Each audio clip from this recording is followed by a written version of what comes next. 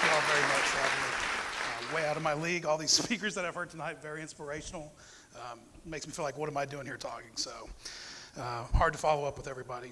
But today I want to talk about the survival of Judaism in my family. Um, everybody has their own unique path, varying twists and turns, uh, a lot of amazing moments. Um, I just want to share my children's story with everybody. 1940s Morocco. There's a little girl named Suzanne. She comes down with typhoid. Her father's already succumbed to the disease. The hospital's done all, all they can for her. They send her home. There's nothing left but her mother and her two grandmothers to pray over her. Somehow, she survives the disease. She's left with the scars across her back as a permanent reminder. But with her, Judaism survives. During the Korean War, there's a young airman named Charles. He's behind enemy lines when he's shot and captured. He survives the war as a POW. Although he's not Jewish, with his successful return to the U.S., Judaism will survive. Years later, that airman, he remains in the Air Force. He's later stationed in, Rabat, Morocco. There, Charles meets Suzanne, the love of his life, the girl who survived typhoid. He agrees to an Orthodox conversion to marry her. With that conversion and marriage, Judaism survives. In 1968, an Israeli submarine, the INS Dakar, is en route from England to Haifa, Israel. Tragically, en route, she's lost in the Mediterranean. She goes down without any trace. No one knows what happened, but 69 soldiers go, excuse me, 69 sailors go down. Among them is Yosef Almag Suiza. His lost, he's lost, but his name will go on, and he will help Judaism survive. Late 1974, Suzanne goes into surgery to remove her gallbladder. When she wakes up after the surgery, the doctors tell her that she's pregnant. The following year, Charles and Suzanne have their sixth child, a boy. To honor her younger brother, who was lost on the Dakar, they name him Joseph. In case you haven't figured it out, that's me.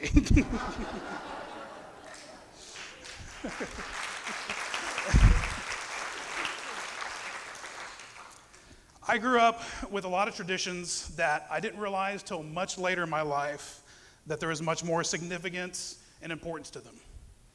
My mom used to make these triangular shortbread cookies with apricot jam in the middle. Uh, she would make these uh, meals in the crock pot she called skana. And she would make them on Fridays. You know, and it was much, much later that I realized it was hamantaschen and that she was making a traditional Shabbat meal uh, in the crock pot, one that's uh, a lot, that's for the Ashkenazi, they refer to it as cholent. But with all those unnamed traditions, Judaism survives. During the summer of 1988, I end up in New York visiting relatives that were in from Israel. After visiting with the Rebbe in Crown Heights, uh, it's found out by some of the rabbis there that I'm 13 and have not yet been bar mitzvah. So that afternoon, I had an impromptu bar mitzvah, a very memorable one. And with that, Judaism survives. I don't want to say that I grew up secular, but the opportunities to practice and, and lead a Jewish life were far and few between for me for various reasons. But almost a decade later, after pondering my uncle and his name and, and uh, my namesake, and it just dawned on me that I wanted to research my roots and religion more. So I went on this tear for about a year and, and read about as many books as I could get a hold of on Judaism. Later in life, through a random encounter between mutual friends, I met the love of my life, a Jewish girl from Long Island. Boy, was my mom happy. we married.